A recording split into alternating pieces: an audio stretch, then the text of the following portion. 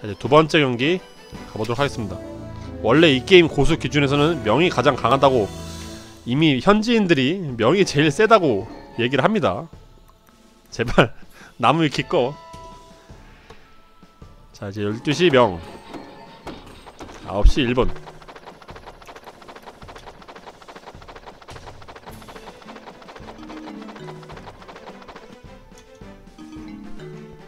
일본은 과연 어떤 빌드를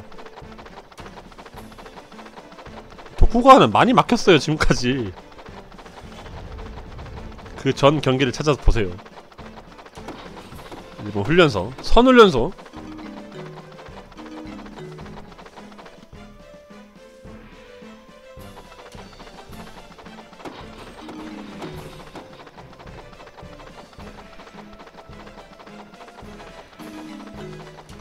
건설 수레가 지금 바로 올린 거니까 3분 놓고는 아닙니다. 훌, 어, 2훈련소? 이거 4훈련소 창병 푸시인가요?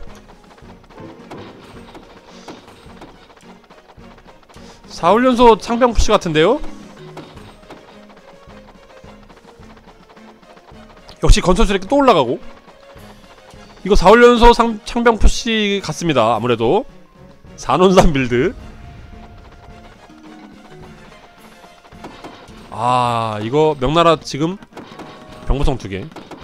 괜찮은 선택이에요. 지금 병부성 빠르게 올라오고 있고 이 맵도 지금 굉장히 러시거리가 짧기 때문에 물론 1대1 맵은 아니지만 상대방이 정찰 오고 있고.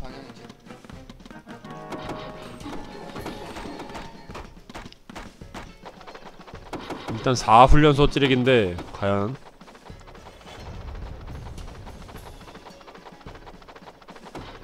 플러스 4개째 명나라 아직 모르거든요. 창병을 일본 상대로는 일단 창병을 꾸준히 찍는 모습. 일본 창병이 명나라 창병보다 약하긴 하지만 그래도 훈련소 2개와 훈련소 4개의 차이는 어마어마하죠. 생산 건물이 2배 차인데요.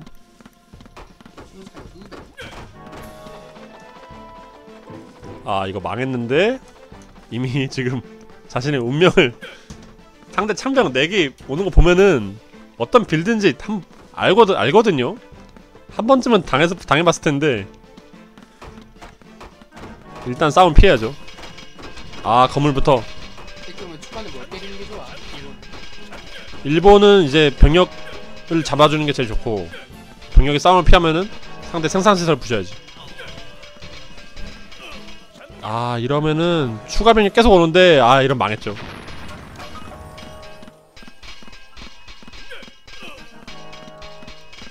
확실히 지금 칼을 아예 갈고 왔네요. 정찰 운도 좋아.